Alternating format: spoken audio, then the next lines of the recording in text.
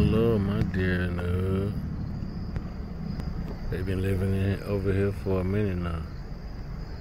I go to the other one right there. Hey, babies. She pretty.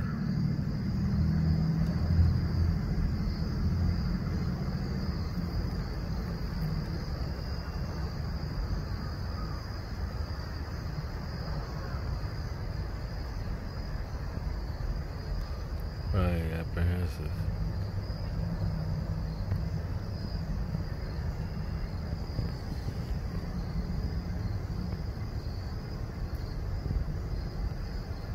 Is that a boy or a girl? Do you guys know about deers? Why he stump his feet down like that? There's his buddy.